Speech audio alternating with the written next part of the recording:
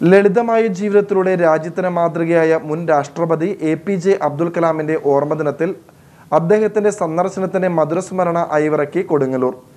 രാജ്യത്തെ ആദ്യത്തെ മുസ്ലിം ദേവാലയമായ ചേരമാൻ ജുമാ മസ്ജിദിൽ രണ്ടായിരത്തി അഞ്ച് July ഇരുപത്തിയൊൻപതിനാണ് A P J Abdul Kalam എത്തിയത്. രാഷ്ട്രപതിയായി സത്യപ്രതിജ്ഞ ചെയ്യുന്ന അബ്ദുൽ കലാമിന് ചേരമാൻ പള്ളി ഭാരവാഹികൾ ആശംസകൾ നേർന്ന് കത്തയച്ചിരുന്നു. ഇതിന് മറുപടിയും പള്ളിയിലേക്ക് ലഭിച്ചിരുന്നു. രാഷ്ട്രപതിയായിരുന്ന അദ്ദേഹത്തിന്റെ കേരള സന്ദർശനത്തിൽ ചേരമാൻ ജുമാ മസ്ജിദും ഉൾപ്പെടുത്തണമെന്ന അഭ്യർത്ഥനയുയർത്തി രാഷ്ട്രപതി ഭവനിലേക്ക് കത്തയക്കുകയും ചെയ്തിരുന്നു. മൂന്നാഴ്ചകൾ കഴിഞ്ഞ് രാഷ്ട്രപതി ഭവനിൽ നിന്ന് ചേരമാൻ പള്ളി സന്ദർശിക്കുമെന്ന് അറിയിച്ച് ഫോൺ കോൾ വന്നതായി മസ്ജിദ് അഡ്മിനിസ്ട്രേറ്റർ ഫൈസൽ പറഞ്ഞു. ആ കാലഘട്ടത്തിലെ എം പി ലോനപ്പൻ നമ്പാടനും എം എൽ എ ഉമേഷ് ചള്ളിയിലുമായിരുന്നു.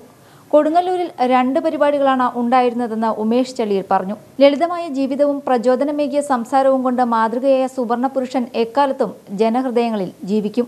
News bureau Kodungallur. ഞങ്ങളുടെ സെറാ സ്റ്റൈൽ ഗാലറിയിൽ സകുടുംബം ഷോപ്പിംഗ് അനുഭൂതി ആസ്വദിക്കാൻ നിങ്ങളെ സ്നേഹപൂർവം സ്വാഗതം ചെയ്യുന്നു. Popular tiles and sanitaries government L P എസിന് സമീപം പുത്തൻചിറ റോഡ് മാള.